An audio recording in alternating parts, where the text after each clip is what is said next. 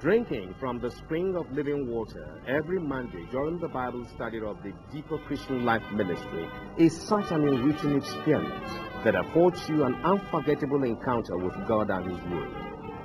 The vibrant General Superintendent of the ministry, Pastor W.F. Kumuyi, is a renowned minister and teacher of the gospel of the Lord Jesus Christ, having traveled worldwide for the propagation of the gospel. Each contact with his ministration gives you the privilege of joining our thirsty and expectant congregation to receive the bread of life, which satisfies the body, soul, and spirit through anointed messages filled with unction of the Holy Ghost. This message will transform you and help to deepen your walk with God and your service to our Lord and Savior Jesus Christ. Sit back as we present to you the unchanging Word of God through His minister, whose entire life revolves around the preaching of the gospel of salvation and purity of life, in preparation for life here and hereafter. Let's welcome Pastor W.F. Kumuyi. Heavenly Father, we just thank you for bringing us together once again tonight. For the glorious thing as well as the solemn, serious thing that you brought us together before you in your very presence to come and listen to your word, authored, inspired by your spirit, and preserved for us your kindness and goodness so we can learn and in learning, we come to be more and more like the Lord Jesus Christ, our Lord and Savior. And the work you've committed into our hands, the great commission you've given us.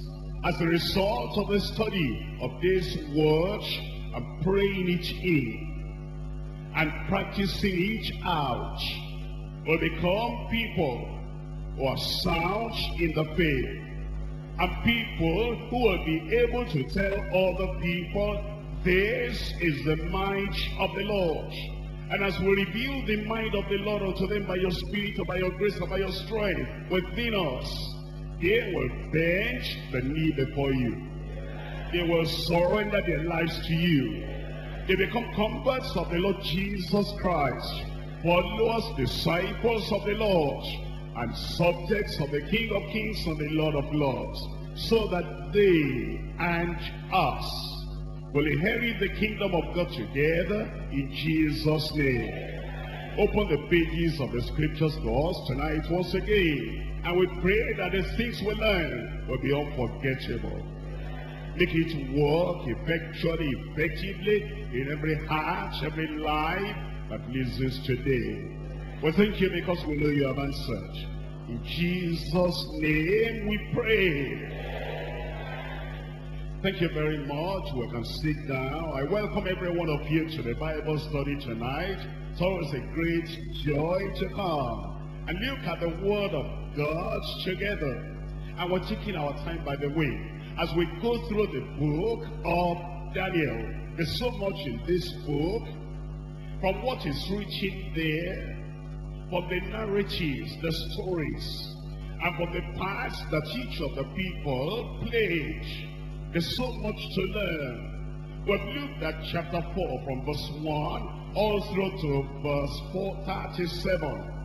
And what we've done is we've taken what we call a panoramic view, a general view, a broad outlook from verse 1 all through to verse 27, and then from verse 28 all through to verse 37. We're now going to do something. There's some parts of the chapter that we need to look at. is like now we want to do what we call a microscopic study.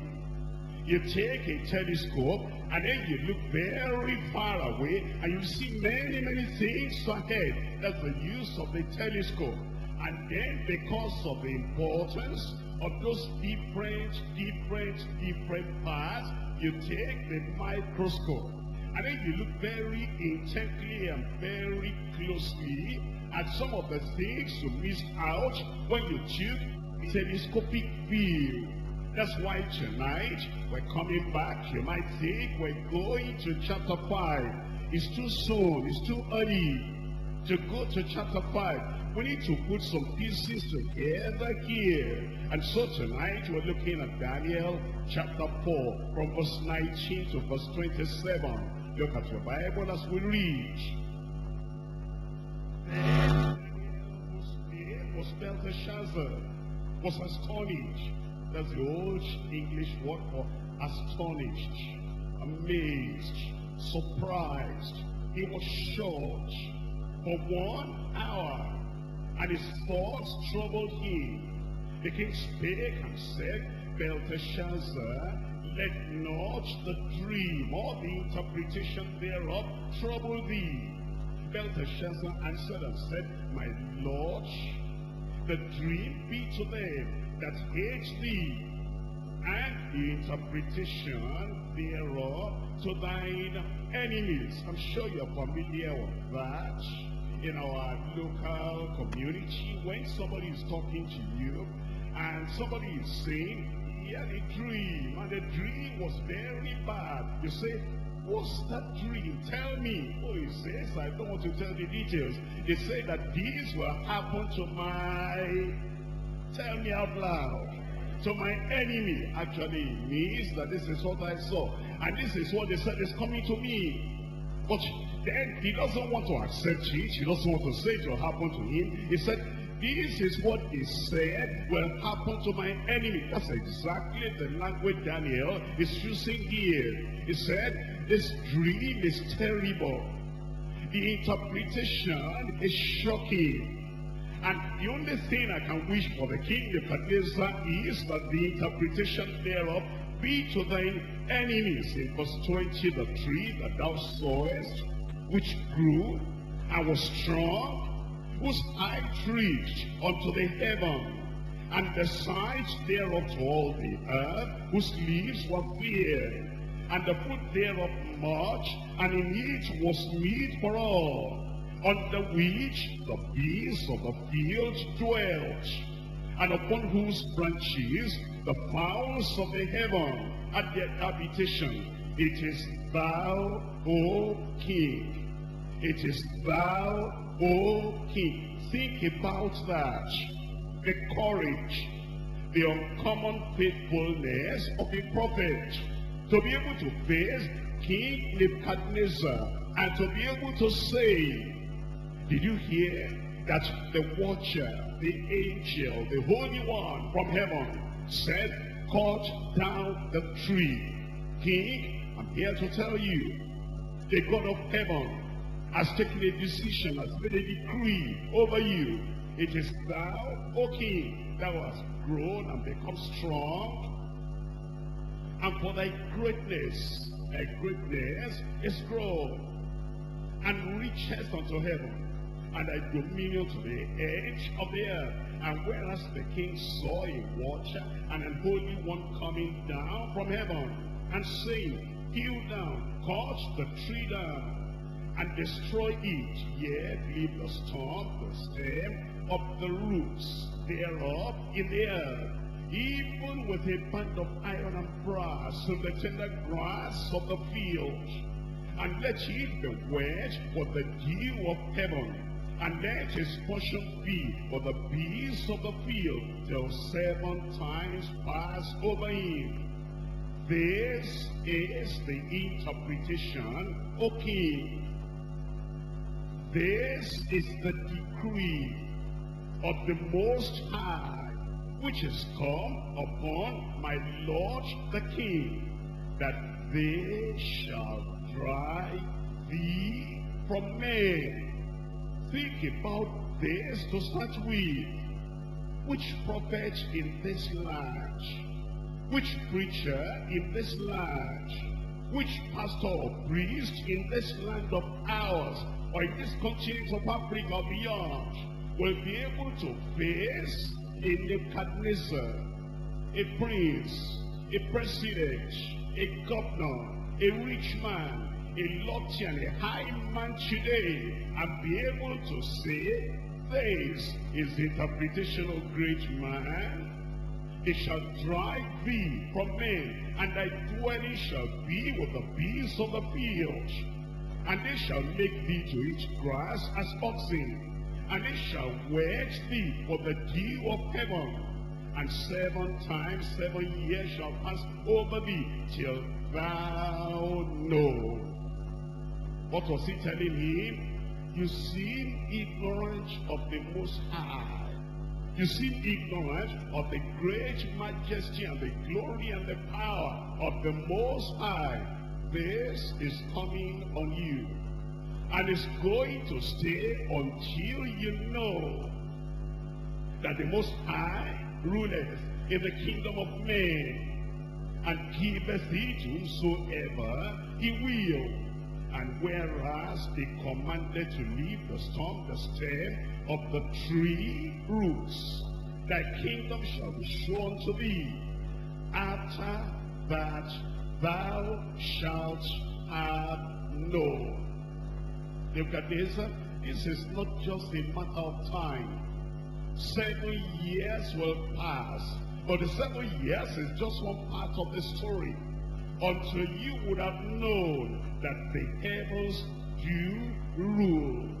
That was the interpretation. But Daniel did not stand up and then run away, thinking, I wonder how I could have said that to Nebuchadnezzar. I wonder how I could have had the courage, the conviction, the commitment to even stand before Nebuchadnezzar and to tell him what I told him. He didn't run away. He said, that is the dream. That is the interpretation. But now, before I leave, I'm going to counsel you.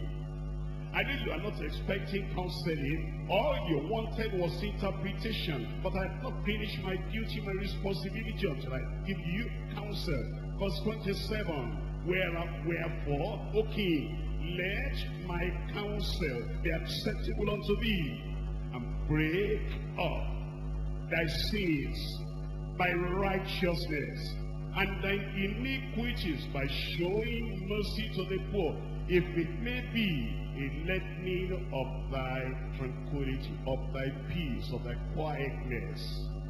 The prophet's call is a rewarding call, but there are times when the prophet is called upon to deliver a serious, solemn, weighty message. The preacher's commission is a very high commission, a holy commission, a heavenly commission, with great reward, but it's not always an easy task to go to all the people that the Lord will send him and to speak whatsoever the Lord will command him. There are times when the prophet or the preacher or the pastor is sent to bear and to deliver every tidings to the high and lofty among men. That's where a family of real preachers that was that that worth their salt in this country, in this continent. This continent is filled with churches, with pastors, with preachers, with evangelists, with proclaimers of the Bible. But everything looks psychological, motivational. We never have any word for the wicked. And the people who are fighting corruption in the world, they're doing a better job than the pastors and the preachers and the evangelists in this land, in this continent. Those uh, people who are fighting corruption, they stand up firm. And they do not mind, they do not worry who they have to point to, arrest, or check up on. And while the preachers have their shaking knees and trembling hearts and trembling voices, and they cannot stand up like Daniel to challenge the corruption in the land. The people who do not claim to be Christians, who do not claim to be preachers of the gospel, they're doing a great job, they're doing a better job. If Daniel were alive today, Daniel would do a greater job than anybody fighting corruption in any land, any part of the world. Because that man the will of God and did not mind what the consequence might be. My prayer, your prayer, our prayer together is that God will raise up Daniels. And you might be the Daniel. That's why God brought you here tonight. For you to see somebody like you, a man of flesh and blood like you, And all he did, he did by grace. He did by the power of the Spirit of God. And the Lord is saying, Daniel has come and gone. You are the one there today, the brother and the sister.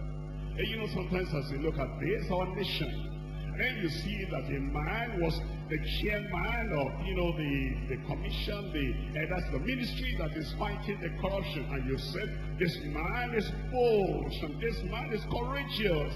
And then you replace that man with a woman. And then you say, I thought the man was bold, this woman is another thing.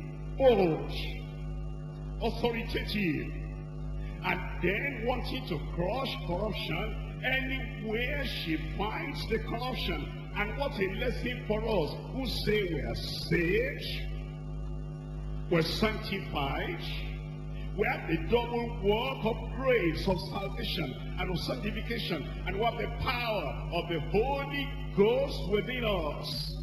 And now, when it comes to fight sin, corruption and evil, even in our local, local house fellowship, in our local zone, in our local district, what kind of job are we doing when it comes to preaching the gospel and presenting the unadulterated word of God to the people in our community? What are we doing?